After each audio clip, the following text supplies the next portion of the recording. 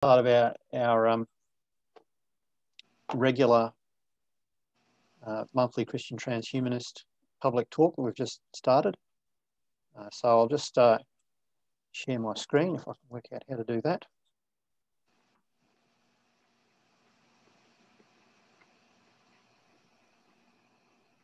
Okay, can everyone see that?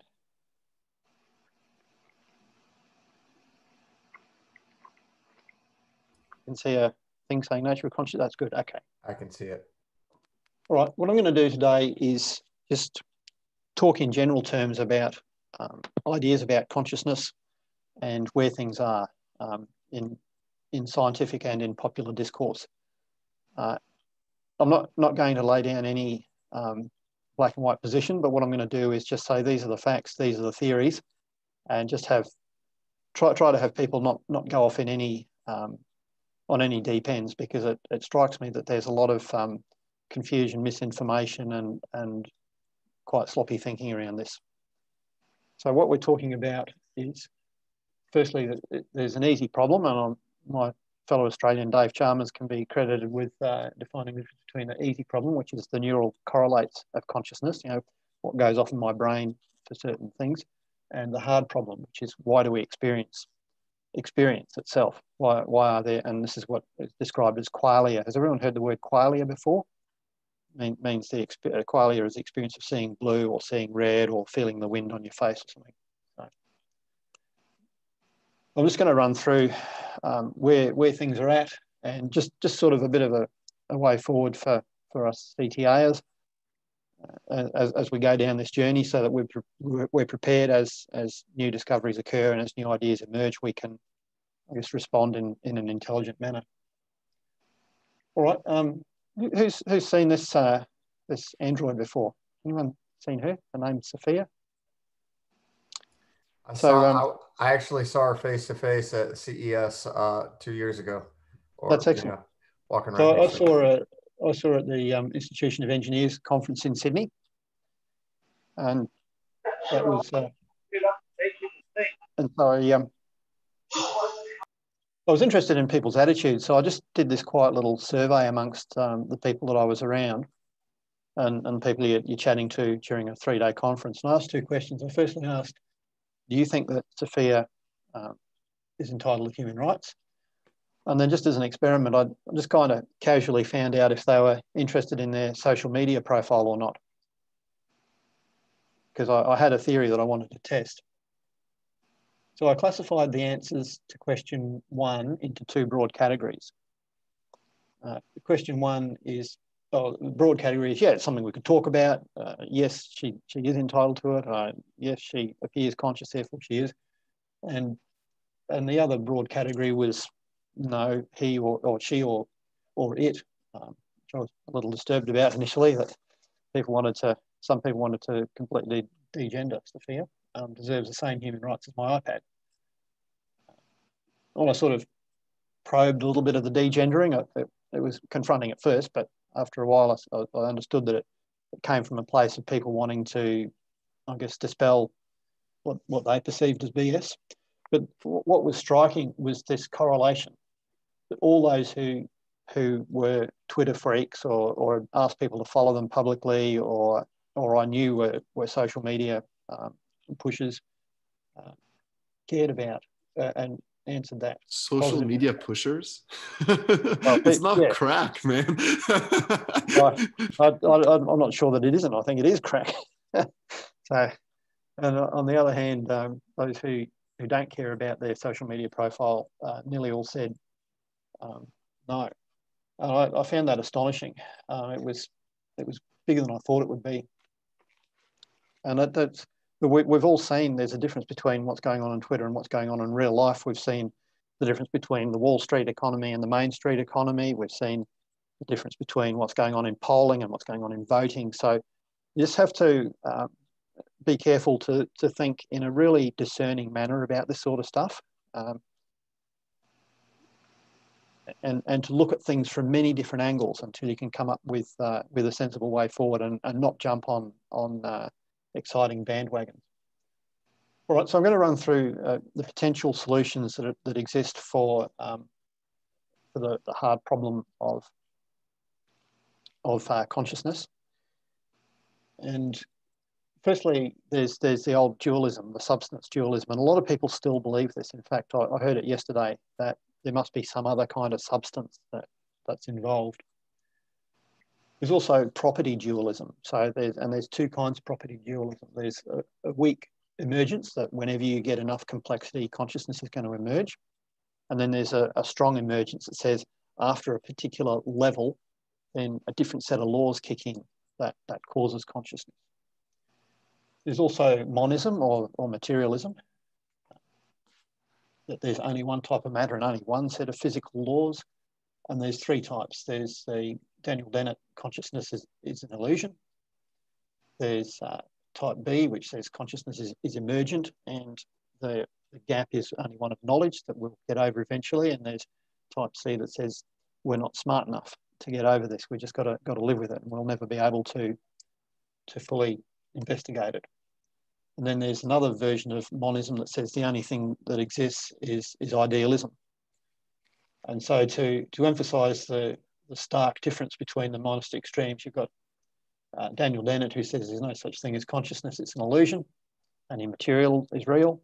You've got uh, Deepak Chopra who says there's no such thing as material reality; only consciousness is real. So, and these people are running around with with big social media followings and making a lot of noise. And I guess, yeah, how to spot a fundamentalist. High powered evidence filters. I think we need them someday. There we um, go. That's what I'm waiting go. for. You're waiting for panpsychism. I thought you might be Lincoln. I thought Lincoln's going to spark up on this one. Uh, Yep, that, that's a that's a possibility. Uh, and another one is quantum consciousness, the, the Roger Penrose uh, concept. He says consciousness is not algorithmic, therefore it's not computable. There's the whole Boltzmann brain idea. Yeah. Which um, says that if we're going to have a big bang to produce a universe, it's much more likely to have a big bang that produces a big sloppy wet brain that's that's um, deluding itself that we all exist and you then start thinking about the reliability of sense data and that, and you know, go down some rabbit holes. But um, those of you who've hung around me long enough um, know that I'm not going to approach any topic without uh, coming, injecting a little bit of um, simulation creation thought into that. Um, and I, I, find something interesting in this, and that um, Pope John Paul is is uh, when he officially brought evolution into the Catholic Church's teaching, he said at some point, God injected a soul. Now, maybe that's like saying at some point, a second set of, uh, maybe that's the same as um, strong emergence, where a, se- a separate set of laws kick in at a certain level of complexity. And maybe there's a crossover between that strong emergence and the panpsychism that as those laws kick in, the, the panpsychism kind of comes together we've, we've got this whole thing going around um, with Elon Musk asking the AI what's outside the simulation, that, that clip that I've posted a, a few times. Um, and the, and this, this is a, great way to dialogue with people and say, look, there has to be something external to the simulation. Um, there has to be intelligence outside what we see. And why? Because within the, the universe as we perceive it, um, any grand cosmology involving multiverses and Schrodinger wave equations and all sorts of things, everything breaks down to either a brute fact, the just soism, or infinite regression. And uh, I regard both of those as, as uh, deeply unsatisfying at best and, and maybe totally incoherent. So what you can then say is if causality and, and time are a feature of the simulation, then suddenly a lot of things make sense. And external to simulation, what what we think of as causality would have some kind of materially different quality that that we don't, that we we can't get our heads around, but maybe we will in future.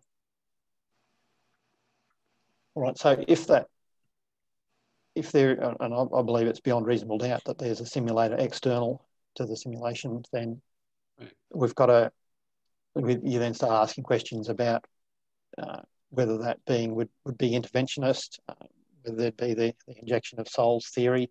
I mean, Lincoln Your tradition has a a, uh, a pre-mortal existence, so you know that that makes that makes sense.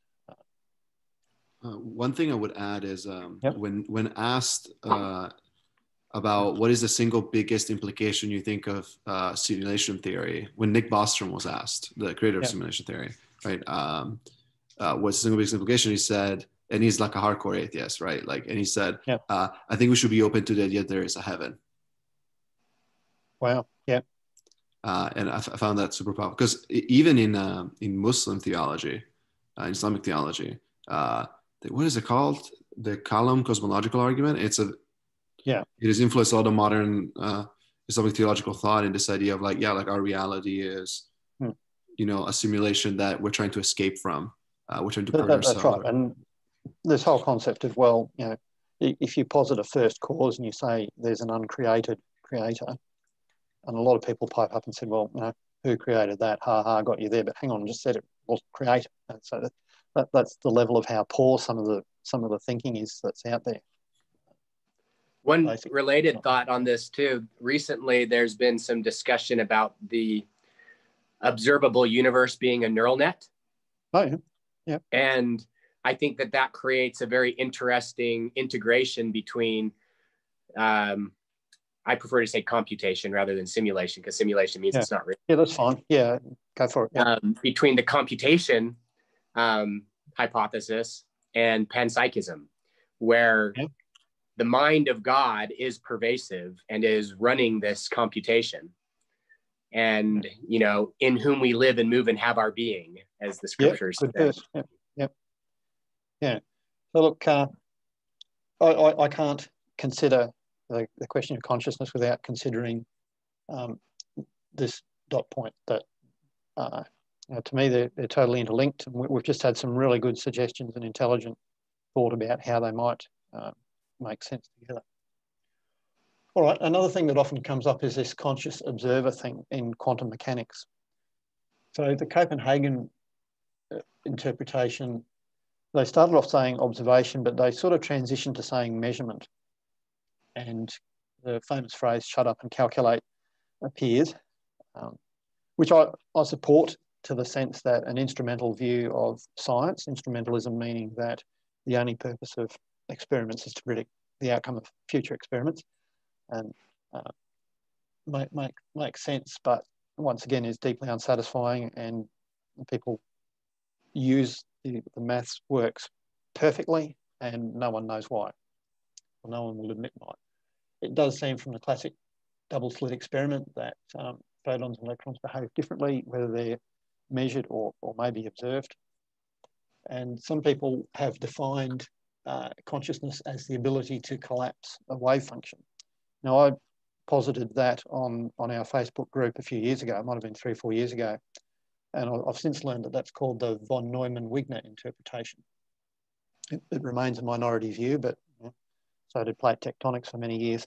Uh, there's, there's reasons for that, but I think it's at, at least good and one thing I'll be saying later is to make sure you understand the history of this thought and read read deeply because it's all very well to have ideas, but um, a lot of us original thinkers, but uh, there'll be a lot of uh, there's a lot of original thinkers in the past who've had the same original thought, you know. So, uh, indeed, yeah. Sometimes so it's uh, spooky when those original thinkers were born thousands of years ago too. It makes us feel stupid. That's right.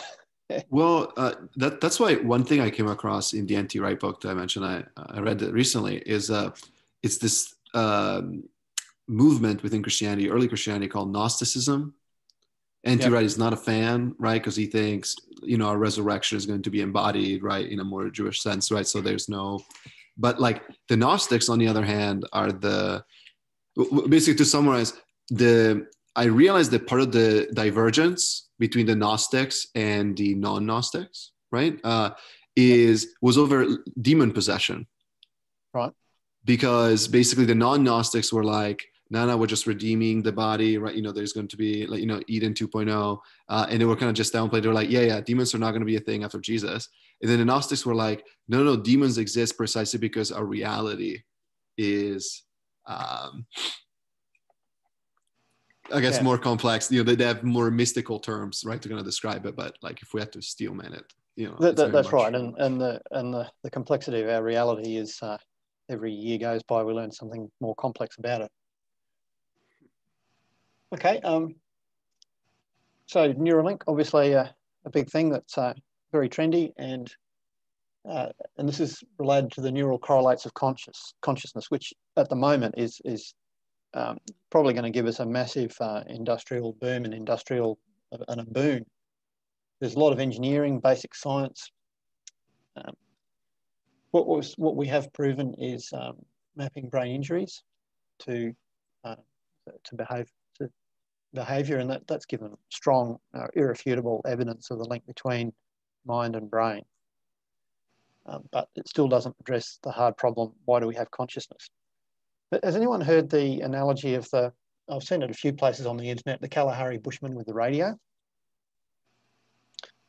so there's this um, a, a primitive tribesman finds a, a transistor radio and imagine one of those sort of 1960s transistor radios with batteries that's you know sort of not quite shoebox size and imagine he finds that and twiddles the knobs on the front and noises come out and he, he takes the batteries out and they stop and he puts them back in and they start again and he takes one of the transistors out and and the voices go tinny and he puts it back in and they're fine and he can do all that and think, great, now I understand radios, right? But he, but he has no conception that there's a, a broadcast tower and a studio full of people 50 kilometers away. All of our laws of physics might be the same. yep, there, there might only be one electron in the in the, in the universe. There's another theory, but you know, uh, so we've got to be got to be really discerning here to say, um, yeah, to say that neural correlates are going to be a, a massive um, bit of uh, GDP growth globally in the near future, but doesn't solve uh, the problem of qualia, the hard consciousness. Right, people talk about consciousness and computation, and that's a, that's a, key, a clear question here. If I just stick enough terabytes in my laptop, is it going to become conscious? Um, Not like you and me. I, I, I, agree on that front, Lincoln. Human brains, the, the most neurons aren't conscious, and they compute in a different way. I don't think I agree. There's, 100%. Yeah. There's a lot of natural language. Um, I'll talk about my day job in a minute, but uh, in Project Debater and AI and IBM Watson, they appear intelligent. They can hold a conversation almost. They can make quite intelligent comments, but I know how that stuff works. We just glorified search engines. So, you know, it, it, it, may have, even if we build a, an AGI, it may have internal to itself an accurate representation of itself that is managing and that it's improving. But it's still a long draw to say that that, that thing is experiencing qualia. Um, and Roger Penrose asked the question, does computation give rise to consciousness or is it vice versa? So I think I it's say- legitimate to ask ourselves if, you know, computers are experience, experiencing a computer kind of qualia that we have no access to and don't know anything about and might be so alien that we can't, can't even conceptualize. But I think it most of the time when people ask if a computer can become conscious, they mean like a human. They do, and that's a that's a really interesting point, Lincoln. That's a that's a good one. I hadn't thought of that. All right, has anyone seen this um, Amazon original series? Yeah, it was Uh, yeah. fun. I, I binge watched it on a rainy Saturday afternoon one day. for those, there's like ten episodes of sort of half an hour each. Uh, I guess was, you've got to have some things that are just complete waste of time in your life, and that was one of them for me. Uh, I think yeah, it's asking the question: Is an AI version of us an entity or an emulation? Can we upload ourselves, uh, or or do we do that? Is it is it an imitation? And I'm, I've told my kids already. I plan to leave an emulation of myself behind to annoy them mainly. Uh, so, and a- good analogy is a tool. So a, a tool that you use all the time that you're really familiar with, your your brain makes it feel like it's almost part of yourself. So if I'm playing the piano, I'm I'm playing music, and the music flows from my head through my fingers and out of the machine, and, and sort of. Um, I, I don't have to consciously think about where I put my fingers. They just they just go there. If you if I'm riding my bike, which is which I do every day, it's a, I'm a bike freak. Ask Dave Wynyard; he's always following me on Strava. Um, you feel the the road through your tires, you feel the bumps, um, but the you know the, the qualia are in my head; they're not in the bike. What, what I will say is that the Christian expectation of resurrection, which I, I, I believe to be reliable, because um, Jesus said so and he's a reliable character, um, implies recreating our consciousness on some other substrate. Specifically, we're told we'll have a you know, new bodies. So, but what we don't know is if that technology is available inside the simulation, or if it have to be outside the simulation to do that. Reserve powers of God, if you like. Yeah, I, this I, is this is the one thing that is always made me think could we get to the point where we could upload our minds and what would that say about the soul if we got to that point i think we could upload our minds in the sense that we would create an emulation of ourselves but the, the continuity of consciousness, I think that's a huge leap. Even if here's a thought experiment for you. Yep. Hey, what if instead of breaking it in half like that, where we imagine our, you know, uploading our consciousness yeah. somewhere else, what if we create a um, artificial brain? Yep. And we attach it to our biological brain Yep, using Neuralink and. We, yep. And we um, allow our consciousness, if assuming that's possible, allow our consciousness to inhabit both. And then as our biological brain dies off, we remain conscious in the artificial brain. The interesting thing about this thought experiment is that you can do it very gradually. You could do it one artificial neuron at a time and we have to ask ourselves do we think that we would lose consciousness uh, during the process? My, my position is that no, I don't think we would. And I do think that we can be conscious on a, an artificial brain. Um, I think it would be horrible to experience that without having autonomy of a body, but I do think it's possible. Mm. And I think it's the structure of the information. Like I said, I don't think I don't think just any old complexity is sufficient. I think there, there may be some kind of computer alien consciousness associated with alien forms of complexity. Hmm. But if we want human type consciousness, we need human type anatomy. And I do think human type anatomy can be computed on other substrates. So when you say human type anatomy can be computed on other on other substrates, you're saying building like a, a simulation of a human being inside inside a computer yeah so a, an artificial brain um, put an artificial brain in a body a robotic body. It might look just like a human body. It might be an organic mm. body even but developed artificially. Biotech yeah. and and i think that you at, at that point you have a more robust brain and body that continues to be conscious and i would call that resurrection. Yep. It, it, there's that that could well be a um, part of it. Was we're still not sure whether that technology though is accessible to humans or if it requires you know, intervention from external to the simulation. Yeah, we would don't it, have it now.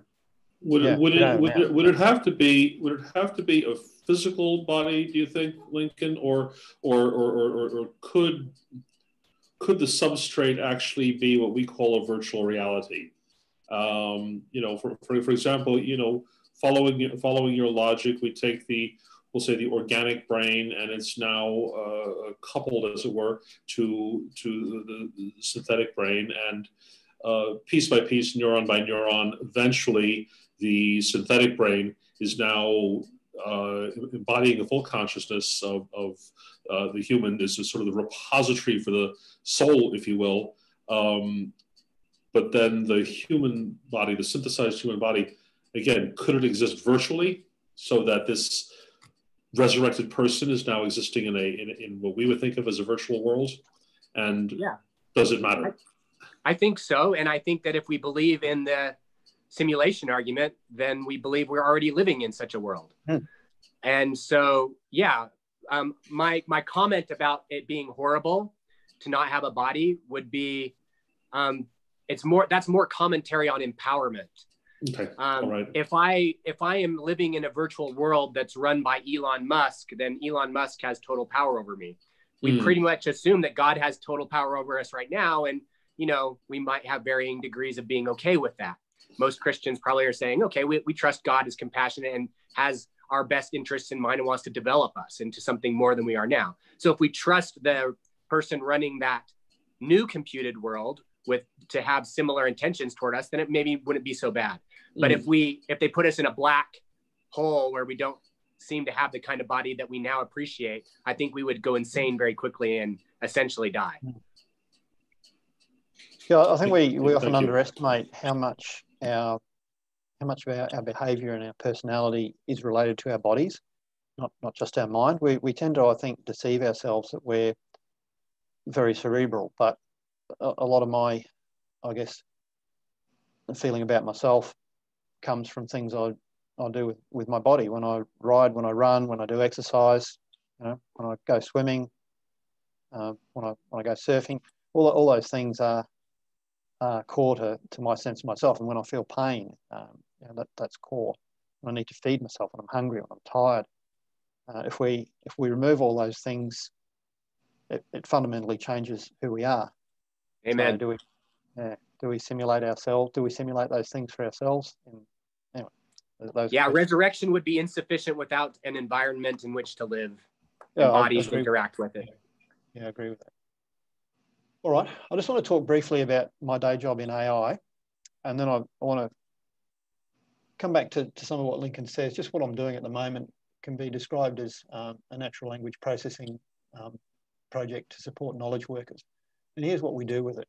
We get the knowledge, we plan how it's going to be used, uh, and we, we basically we're producing what amounts to a fast and not particularly bright intern who over time will will hopefully eventually improve.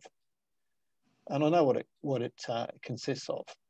It consists of this stuff, and we're we're trying to emulate uh, as best as we can. Um, the best we can do is a fast is not a problem, but not particularly bright um, intern as a, as a support for, for knowledge workers. And quite frankly, I can't conceive this thing that, that I'm having a hand in, in creating. I'm, I'm really on the specifying end of things. Um, I can't conceive it becoming conscious. Elon made a statement to the effect if you can't tell the difference between interacting with it, then it could be conscious. And no, I'm, I'm just. What was his statement? If, if you can't, what? If you can't tell the difference between, uh, uh from the Turing test, if you can't tell whether the the entity that you're speaking with is a human or not, then it could well be conscious. And I'm, I'm saying, well, no, I can I can debunk that because I know what's there. I built the thing. I can. Let me ju- let, let me interject. I just have to interject from a I don't even know how to describe the what a pattern way of thinking. You see the inner workings, right? So I see yeah. your results. It's a forest yep. for the trees. So my mind doesn't go to the place of all of the effort that you put in. And so when I look at the idea of, you know, can we throw more computing power and have it become conscience? To me, it's easy to think, yeah, eventually, yes.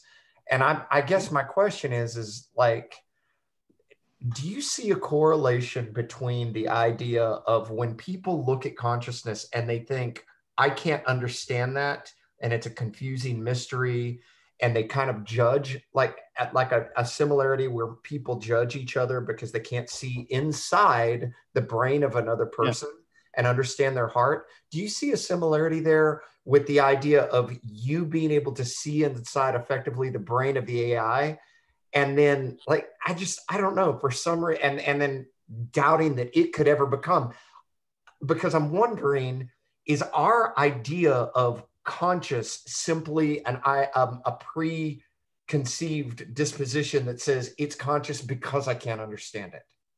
That's what I'm wondering.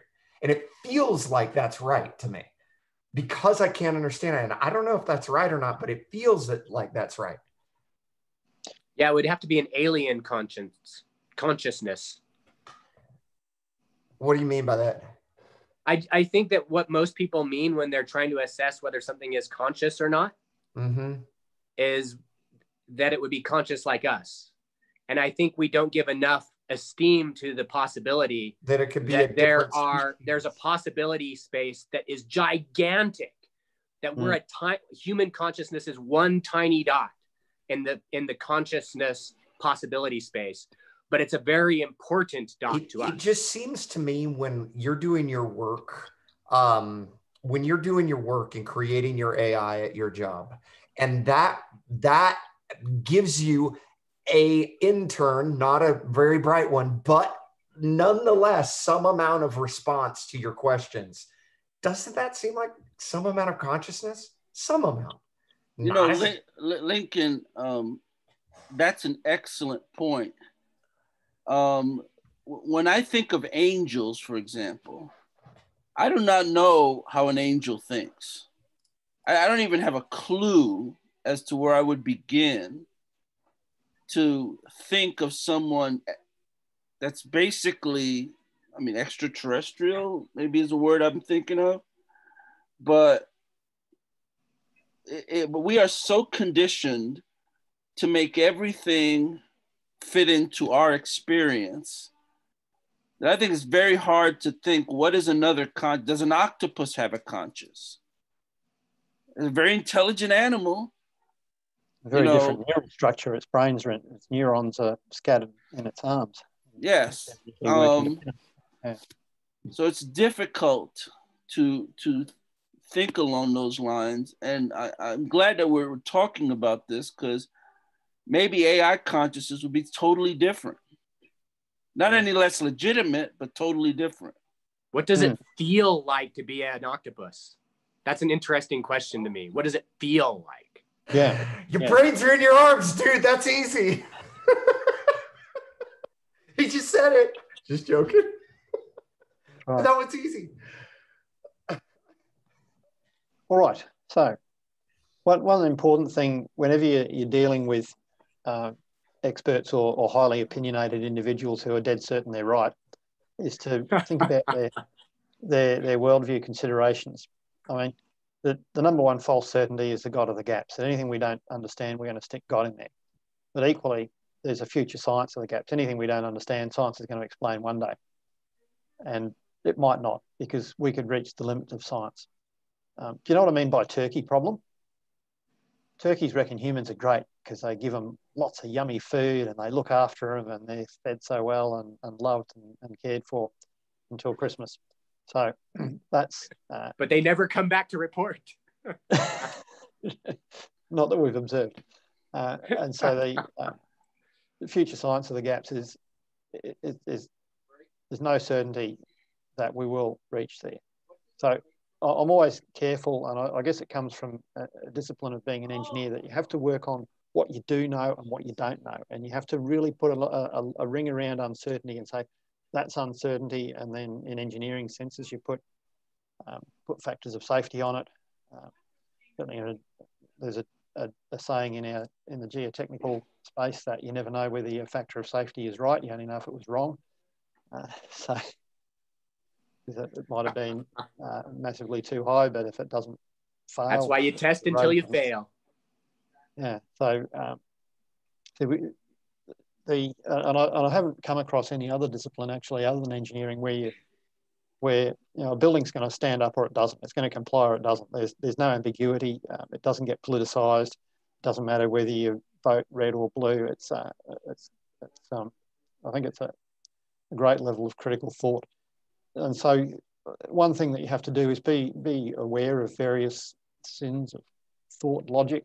Um, I mentioned populism, um, you have to be aware of manage, managing your internal emotions. Some people say things just because it belongs to their team and, and they, they're then taking a, a political, a spiritual, uh, a theological position um, based on their tribal, based on managing their own emotions, what feels good.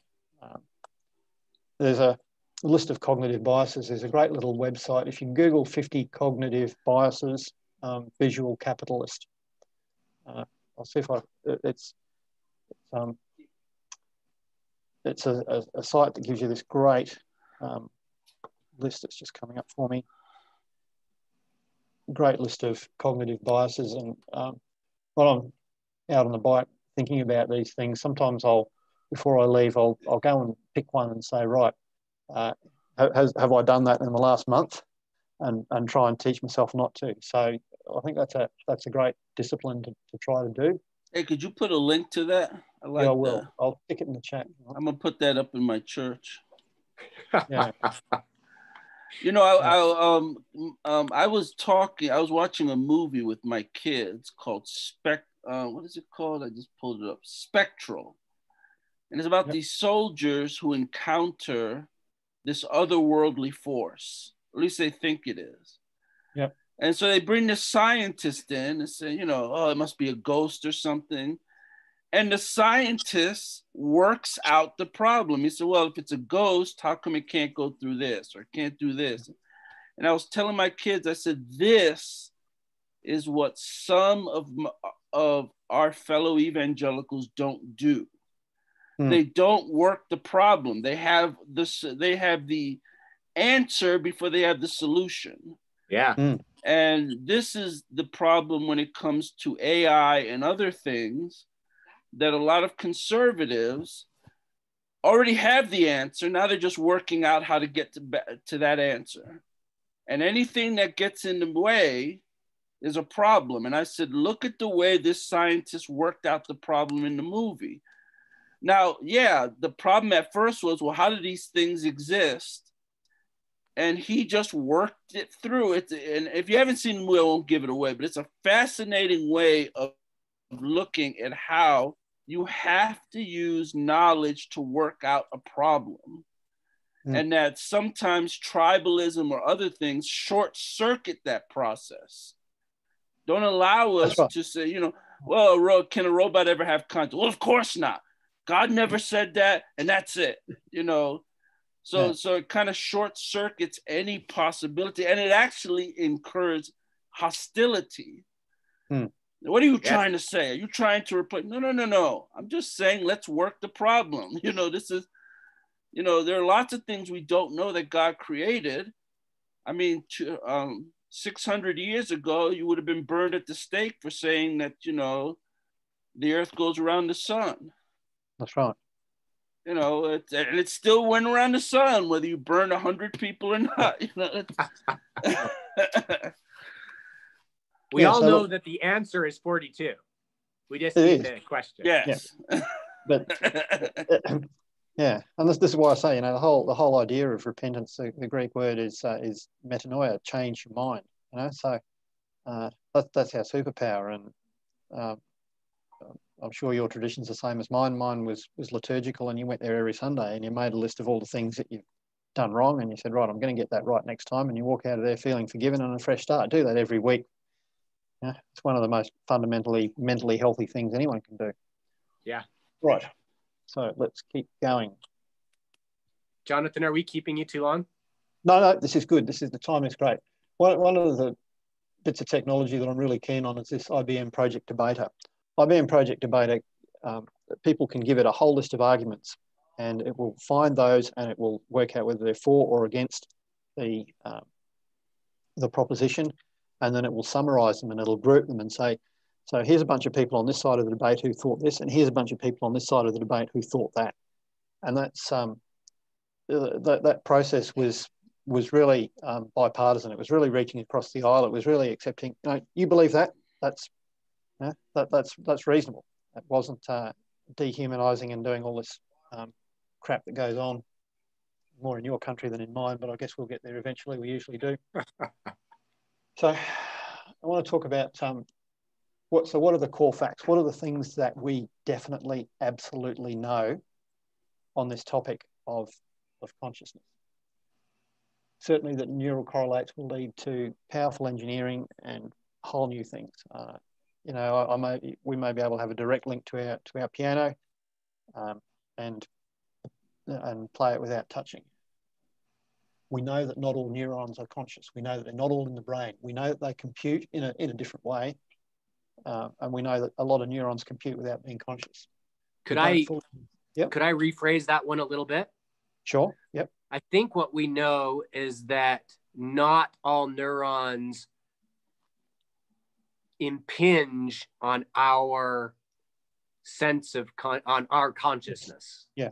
Yeah. I think that's what we know. I don't know that we know that they're not conscious.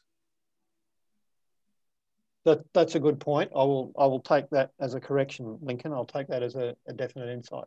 Yeah. Um, yeah, that's a good one. All right. Um, consciousness can give rise to computation. I think that that's more likely because we know consciousness can give rise to computation. I can say two plus two equals four. I can compute the trajectory of a, of a, a thrown ball, for instance. Um, consciousness can give rise to computation. Um, so maybe computation can give rise to consciousness. Uh, well, in the sense that the universe is a big computer, then yes, it is giving rise to consciousness, but that's maybe a at a operating at a different level. We're operating at the level of the the substrate of the simulation rather than the, the substrate of a computer. The hard problem, I think it's it's likely to be on be beyond the reach of science. Why? Because right now, I'm certain that I'm conscious, but I have no certain evidence that anybody else on this call is conscious. I don't think you're Chinese bots. You might be you might be zombies, right? But I have no evidence. So uh, once again, those who are relying on on science uh, uh, have got to remember it might be a turkey problem. You might not get there. There's a lot of hot air out there. Uh, as I said, um, there's people making a living by taking outlandish positions on this topic, and you can then see, well, I wonder why you're taking outlandish positions on a topic if you keep getting book deals and getting paid to, to talk and stuff. It is true that our substrate, as we say, changes continually. There are new molecules coming in and out of our brains all the time, but we still feel conscious. There is uh, maybe a little caveat on this one too, and that is that um, general anesthesia and often sleeping are yeah. are quite uh, considerable punctuations in the continuity mm. of consciousness.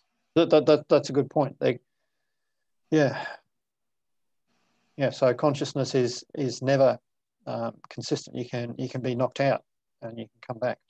You can have gaps in your memory because of, of medical or, or head trauma or something. You can, uh, yeah.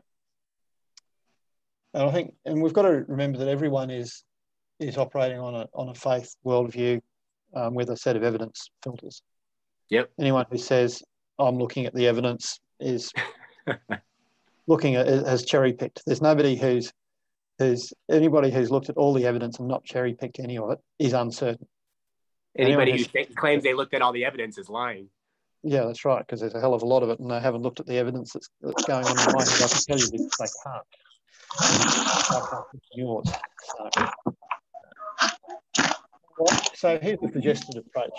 Um, especially listen to the history of thought on this topic because there's been a lot of thought, a lot of smart people. So um, have your own ideas, but then go and test them against what's been been down the ages and ask what ask what factors are people ignoring. Remember that there's always a latest and greatest scientific discovery, and everyone thinks it's amazing and infallible. Or not, or if not debunked, it might get uh, but wait, there's more. It might get um, some nuanced changes. Uh, the neural correlates of consciousness. We got to we got to champion this. I, have got a sense it's going to be huge. Um, we're, we're, going to be able to connect our brains to uh, to large computers. Uh, Lincoln suggests that we might be able to progressively transfer our consciousness. I guess you'd, you have to, to try that, and then you'd have to try and um, prove it's possible. I'm, I'm not sure that I share that view. Uh, we're, we're, being told so far that Neuralink is is more about having um, a, a, better connection to my mobile phone than I've got at the moment. It's a better connection to the internet. and, and whilst that feels like a tool and it feels like an extension of myself, um, the qualia are still in here. They're not in my phone. Um, so the qualia move from my head via via Neuralink, via Bluetooth to my phone. That that's going to take some that's going to take some proving and experimenting. Yeah, we can experiment on that. That's one of the benefits of that approach. Yeah, yeah, yeah. You can. Um, it's not knowable if total knowledge. I mean, if the von Neumann, if the von Neumann Wigner interpretation actually turned out to be true, that would be huge. Uh, that would solve all. You'd be able to design an experiment to see if a if an artificial being could could do that, but then that artificial being has got to be bigger and better than the current detectable use. Um, we don't know. It's a statement of faith to say science is changing everything, and it's a statement of faith to say that knowledge is all knowledge available to humans. Whenever we're listening to someone, um, think about their worldview, uh, especially if they if they're getting paid and if they rely on social media for a living. Um, our consciousness, I think it's reasonable to assume that our consciousness can be reinsubstantiated in some other substrate in the future. But it's uncertain whether that technolo technology is reachable by humans or if it remains um, the prerogative of the simulator or technology outside creation as we know it. And we should be advocating um, you know, for Christian concepts it's one thing to be conscious, but it's another thing to say my consciousness is being continuously transformed. My consciousness is going to be fit for eternal life. my, my conscious, I'm continually improving my cognitive biases. I'm continually improving my worldview. I'm continually learning things. Continually, you know, that's, that's what if we're into if we're Christian transhumanists, that's what we're what we're believing. Jonathan. Yep how do you understand Jesus's command to his disciples to raise the dead in relation to the second to last bullet point?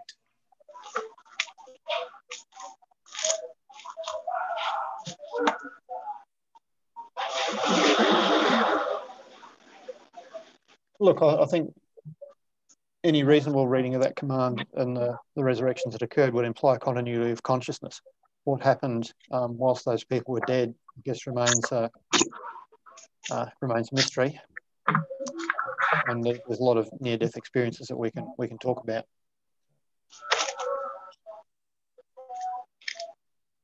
All right. Uh, yeah, I, I, I, might have to take that question on notice, Link. Um, I would love to figure out how to follow that command, by the way. I haven't figured that one out. Yeah. yeah.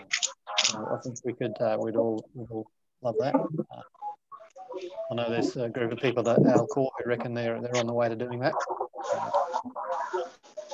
Uh, I, I remain an Alcor skeptic, but anyway. What, uh, any other any other closing thoughts? I've got two people phoning me, reminding me I'm supposed to be somewhere else. It was awesome, Jonathan. All right, look, thanks everybody um, for listening. And I guess, who, who wants to do the next one? Hey, thanks for presenting. Oh, it's an absolute pleasure. I love I loved researching this topic and, and trying to understand it. Has anyone uh, anyone got a particular desire to do do a talk next month on a on a topic?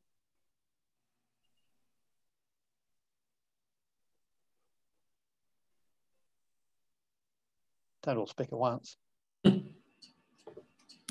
There's Timothy. I assume that's Timothy Langer. How are you, Tim?